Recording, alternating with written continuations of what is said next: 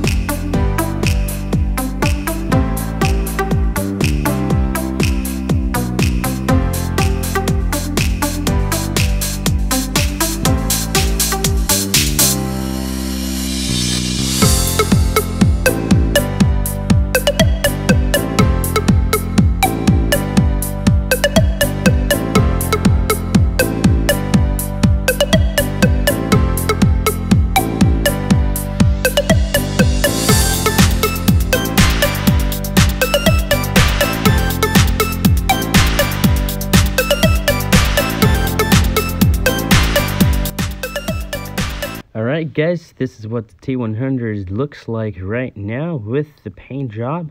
So you can see the front bumper looks really nice, but that bottom portion of the bumper don't really like it. So I'm going to spray paint that with uh, black.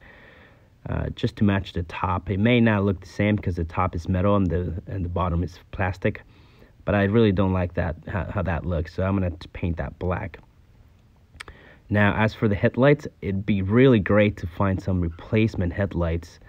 Some projector headlights would be really nice with some you know LED strips and stuff like that. But yeah, these mirrors I'm gonna have to paint also. They're not looking the best. Uh, I'm gonna paint those black. So everything on here will be black, either black or blue. That's the theme that I have going for the T100. Uh, also, this chrome bumper has got to go. I don't want any chrome on this uh, truck. So, but the prep work is really a pain in the ass. You you can't you you can't paint chrome, but it just takes a lot more work, a lot more prep, because you really would need that primer and paint to stick on there. So, a really good sanding and primer and paint should do just fine. Um, but yeah, now uh, these wheels and tires. I mean, I had these. I painted these. So you can actually check that video. But I may do some different with them down the line. I don't know yet. That's another mirror that I that I need to paint, of course. And again, that front lip. Um, be nice to paint black. Um, other miscellaneous things like you know the windshield wiper stuff and these. Uh, what are these called? Weather stripping. Uh, I could possibly paint these black uh, just to have a more of a fresh looking truck uh, all around. This bed liner right here, I just did this. So um, that will be, this will be the next video. So if you guys want to check that out, I'm going to have, uh, I'm going to upload that really soon. And, and yeah, guys, but yeah, this is how the truck looks. It's looking really, really nice. And Again, I may actually do something about these wheels and tires set up down the line, but they look good for now. I mean, there's a lot of things I could do to this truck. Um, I'm also thinking about maybe some fender flares right here and the back as well. But um, I'm sure we'll figure things out as we go. But now, let's pop that hood and talk a little bit about performance. Alright guys, so for our power plant here, we have a 3RZ engine, 2.74 cylinder we actually painted this valve cover. You can go check that video out as well. So what I want to do to this engine bay is this. I want to paint all around this engine bay. So anything that gets in the way, I will pretty much have to take out in order for me to fully paint this engine bay. I think I would also want to paint the underside of this hood here. It just doesn't look that good. But I'm not sure about whether to paint this engine bay blue, color of the truck, or paint it black to add more accent to it. Figure it out when I get to it. But another great addition to this truck, or to this engine bay, would be a turbocharger. But that would be the last thing to do, that I would do to this truck. So we'll put that off for now.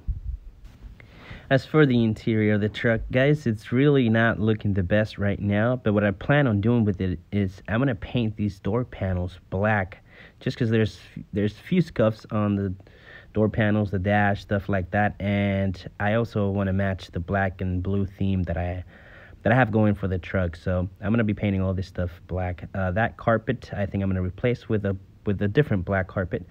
Weather stripping, I tried looking online for for replacement. I couldn't find anything, so I'm gonna have to order OEM from the dealer. Um, the radio or the head unit, I'm gonna replace that with a 7-inch touchscreen and pair that up with good set of speakers, maybe some kickers or something. Um, you know, get an amplifier and place that behind the seats and a sub. This bench seat has got to go. I'm gonna replace them with two black leather buckets and place a center console right there in the middle. So yeah, guys, those are a few things that I have in mind for the interior. Off the top of my head, for sure a lot of work. So the next video will be about spraying that bed liner stuff on, so stay tuned for that. But besides that, I'll catch you guys in the next one.